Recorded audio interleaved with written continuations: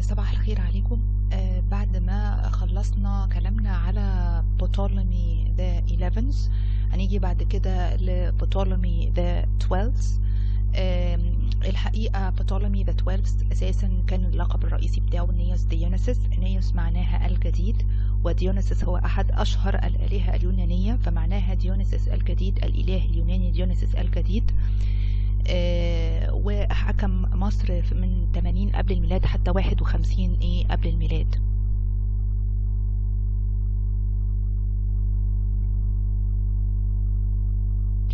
الحقيقة بطلميوس الثاني ديونيسوس بعد وفاة بطلميوس ال11 اللي هو قتل برينيكي الثالثة بعد زواجه منها آه، وصار عليه آه، أهل اسكندرية وقتلوه بعد آه، إن هو ما تولاش الحكم أكتر من سنة.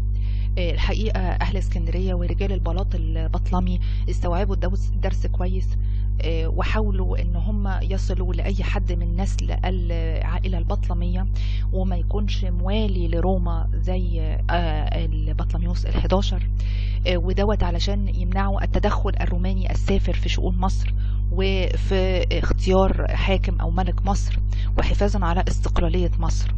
آه، وبعد فترة طويلة قدروا إن هم يوصلوا لاتنين آه، من سلالة الأسرة البطلمية وفعلا تم تعيين واحد منهم اللي هو الأكبر ولقب ببطلميوس نيوس دينوسس أو بطلميوس ال 12 والتاني آه، آه، كان أصبح حاكم أو ملك على جزيرة قبرص. والاثنين دول بعد طول عناء وطول تدوير ال- الرجال البلاط البطلمي قدروا يوصلوا لهم آه، وعين واحد منهم زي ما قلنا آه، كملك بطلمي والآخر كملك على جزيرة قبرص. Uh, men of the Ptolemaic court uh, tried hardly to find any descendants. يعني إيه descendants من سليل. يعني من نسل descendants of the Ptolemaic family they finally found two illegal sons of Ptolemy the ninth Soter the, the, the second بعد طول تدوير وبعد طول بحث قدروا ان هم يوصلوا لاتنين من ابناء الغير الشرعيين لبطلميوس التاسع and they lived outside Egypt وكانوا موجودين وعايشين برا مصر members of the court immediately sent for the two sons ليه كان هذا الإسراع to in order to stop the Roman intervention يعني إيه Roman intervention التدخل التدخل الروماني to stop the Roman intervention in إيه in Egypt the elder son namely Ptolemy the 12th اللي هو لقب بنيوس ديونيسيس was announced to be the king of Egypt in 80 BC آه، تم إعلانه أنه هو آه، ملك مصر سنة 80 قبل الميلاد as for the younger brother الابن الأصغر he became the king of Cyprus كان آه، حاكم أو ملك على جزيرة قبرص الحقيقة زي ما قلنا نيوس ديونيسوس كان اسمه الأساسي. The new Dionysus. نيوس معناها new Dionysus. هو one of the major Greek uh, uh, deities. Uh, ولكن أهل اسكندرية اللي كانوا معروفين uh, بحبهم للسخرية وللدعابة سموه حاجة تانية خالص سموه إيوليتس وإيوليتس معناها إيه؟ The flutist. ومعروفة الكلمة ديت يعني في الكتب العربي لو فتحتوا مثلا مرجع كده عربي هتلاقوا بطلميوس ال 12 كان ساعات يلقب ببطلميوس ال 12 كتب ت- تقول لك بطلميوس ال 12 نيوس ديونيسوس وساعات تلقب بإيه بطلميوس إيوليتس أي الزمار. ليه اتسمى الملك ده بالزمار نتيجة ان هو كان بيحب يلعب على آلة الفلوت أو آلة الايه المزمار خلاص however the Alexandrians called him Ptolemy the 12th Auletes which means the flutist as he was fond of يعني إيه fond of كان مغرم وكان محب جدا of playing music on the flute آه، طبعا آه، يعني علشان آه، روما كده آه، اتقطع عليها الطريق من قبل أهل اسكندرية إن هي تتدخل في اختيار الملك. المفروض إن هم كانوا عايزينه موالي ليهم زي في حالة بطلميوس ال11 الذي لم يكتمل حكمه لأكثر من عام ثارت ثائرة روما ضد بطلميوس ال 12 اللي اللي جابوا رجال الملك, الملك البطلمي أو البلاط البطلمي وما اعترفوش ببطلميوس ال 12 كملك على مصر بل وادعوا كذبا أن بطلميوس ال 11 أوصى في وصية آه، إن مصر تؤول إليهم بعد وفاته. خلاص؟ وعلشان بطلميوس ال 12 كان شخص غير محنك وكان شخص ضعيف الإرادة فكان بيحاول يتودد لروما ويكتسب رضاهم بأي وسيلة كانت. وده طبعا طبيعي مع ضعف الدولة البطلمية وظهور روما كقوة سياسية سائدة وطاغية في البلاد في العالم القديم آنذاك. The Roman refused to admit يعني ايه refused to admit رفضوا الاعتراف refused to admit Ptolemy the 12th as the king of Egypt they even proclaimed يعني ايه proclaimed ادعوا that Ptolemy the 11th خلاص recommended that his kingdom will turn to Rome after his death ان هو اوصى او يعني قال ان مصر تقول لروما بعد وفاته he recommended that his kingdom will turn to Rome after his death being a weak character علشان هو شخص ضعيف Ptolemy the 12 tried hardly حاول بقدر الإمكان وبقدر المستطاع to gain the satisfaction إن هو يكسب رضاء to gain the satisfaction and the support ويكسب إيه آه قوة أو مؤازرة روما uh, the, the support of Rome in any possible way بأي طريقة كانت. كان عايز يكسب رضاهم بأي طريقة كانت. He hardly tried to gain the satisfaction and the support of Rome in any possible way. طيب يعني إيه flashlight كده على روما وإيه اللي بيحصل روم في روما؟ روما كانت فيها آه صراع كده داخلي ما بين حزبين. خلاص حزبين سياسيين. تمام؟ آه الحزب السياسي الأول اللي هو ال Republican Party اللي هو الحزب الجمهوري آه ودوت كان بقيادة واحد اسمه بومبي. وخلي بالكم بومبي دوت هيظهر آه أثره بعد كده. وديمقراطيك بارتي اللي هو الحزب الديمقراطي وكان بقيادة واحد اسمه كراسوس. يبقى في روما حصل صراع سياسي ما بين حزبين سياسيين. ده الحزب الجمهوري بقيادة بومبي والحزب الديمقراطي بقيادة كراسوس. There were a, a very uh, a severe political struggle between two major political parties in Rome. The first one is the Republican Party and it was led by Pompey, a very important military leader, and the Democratic Party which is led by another military leader called Crassus. طيب كل واحد فيهم كان بيحاول إن هو يثبت إن هو الأفضل والأقوى وإن هو اللي يقدر يقود روما بعد كده. طيب ال Republican Party الحزب الجمهوري عمل إيه؟ بومبي راح الحقيقة اللي هو قائد هذا الحزب راح للشرق وقدر إن هو يستولي على السيلوسيد امباير في 64 قبل الميلاد وده طبعا كان إنجاز كبير جدا لروما إن هي قدرت أخيرا تضع يدها على دولة الإيه الدولة السلجوقية أو الدولة إيه السورية هناك. خلاص يبقى the Republican Party يبقى and the uh, Democratic Party were struggling and they are trying every time to prove that they are better from the other party that every party of them is better in in leading Rome, in leading the, the, the Roman society better than the other political party. So Republican Party, uh, which was led by Pompey, a very important military leader, he was sent to the east where he achieved success. قدر يعني يوصل لنتائج عظيمة جدا he succeeded in capturing قدر ان هو يحط ايده على ايه بقى the Seleucid Empire and this great achieve, achievement happened in 34 BC طيب طبعا الحزب الديمقراطي مش هيسكت كراسوس اختار أحد أبرز أو أهم قواده اللي هو مين بقى؟ آه يوليوس قيصر. وهنا بدأت تدق يعني إيه يدق جرس نهاية الدولة البطلمية.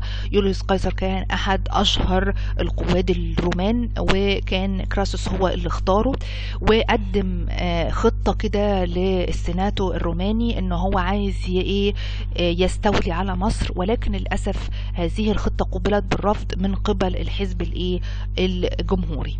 تمام the Democratic Party Crassus the leader of this party the leader of the Democratic Party chose one uh, chose of uh, uh, one of his main important noblemen of to carry out his project يعني to carry out his project ينفذ خطته to invade Egypt and this man is called Julius Caesar however the plan of conquering Egypt was not achieved خطة لغزو مصر was not achieved because of the resistance of the Republican Party بسبب معارضة الحزب الجمهوري إيه ليه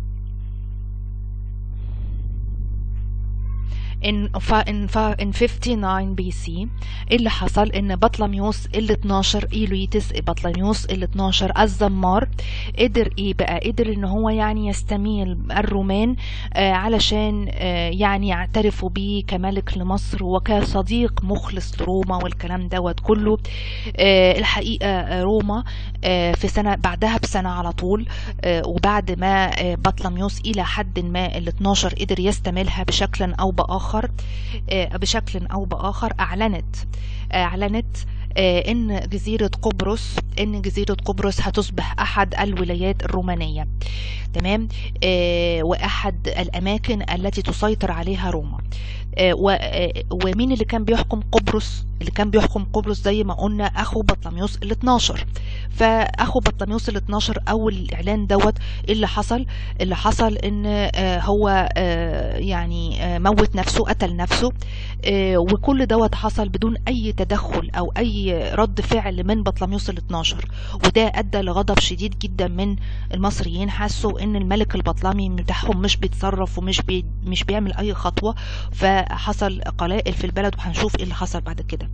In 59 BC Ptolemy the 12th Euletus could conciliate the Romans خلاص uh, conciliate يعني قدر يستملهم the Romans to accept him as the king of Egypt and as a faithful friend of Rome كأحد أصدقاء روما المخلصين in 58 BC روم announced Cyprus as one of the Roman properties هي أعلنت جزيرة قبرص كأحد الممتلكات الرومانية and as we said before Cyprus was ruled by the, the, the, the brother of Ptolemy the Twelfth Therefore, the king of Cyprus was the brother of Ptolemy the Twelfth committed suicide قتل نفسه أو انتحر without any intervention without any reaction from his brother Ptolemy the Twelfth من غير أي رد فعل من غير أي حاجة أي رد فعل قوي من بطلميوس الإيه ال 12 وعلشان كده وعلشان إن بطلميوس ال 12 كان شخص ضعيف الشخصية أهل اسكندرية صاروا عليه واستبعدوه عن الملك آه وراح إيه وتم يعني إيه طرده من اسكندرية ومن مصر كلها وأثناء فترة غيابه مين اللي مسكت الحكم؟ بنته اللي هي برينيكي الرابعة وأعلنت نفسها إن هي ملكة مصر. الحقيقة بطلميوس ال 12 آه آه طبعا هيروح لمين؟ هيروح لروما وقال لهم الحقوني دول أهل اسكندرية كرشوني بره وأنا عايز أرجع ملكي كملك بطلمي لمصر. Therefore and because being a very weak character uh, the Alexandrians were very uh, angry from their king Ptolemy the 12th who didn't make any intervention as we said before or many reaction after announcing that Cyprus is a Roman state after killing his uh, after his brother killed himself and therefore he was exiled and banished يعني طلع برا اسكندرية خالص وأثناء فترة غيابه during the absence of her father Berenike the Fourth announced herself to be the queen of Egypt هي أعلنت نفسها أن هي تبقى ملكة على مصر Ptolemy the twelfth sure asked the assistance and the support of the powerful Rome خلاص in order to regain his power يعني إيه regain his power ان هو يبقى إيه يعيد ملكه مرة أخرى كحاكم على مصر آه مش بس كده ده راح على آه سوريا سوريا خلاص ما بقتش فيه بقى Seleucid Empire خلاص راحت وأصبحت ولاية رومانية. فراح هناك لحاكم سوريا حاكم ولاية سوريا التابعة للدولة الرومانية بقى. وكان اسمه جابينوس وقال له الحقني يا جابينوس دول خدوا الملك بتاعي وزعلانين مني عشان أنا ما قصرتش عشان أنتوا خدتوا قبرص. وأنا صديق مخلص لروما فجابينوس الحقيقة بعت قواد لبلوزيون. وفاكرين بلوزيون ديت هي المدخل الشرقي لمصر اللي دخل منها الإسكندر الأكبر. والحقيقة الجالية أو الحامية اليهودية هناك سلمت بلوزيون للقوات الرومانية بسهولة وبيسر وبدون أي تدخل منهم.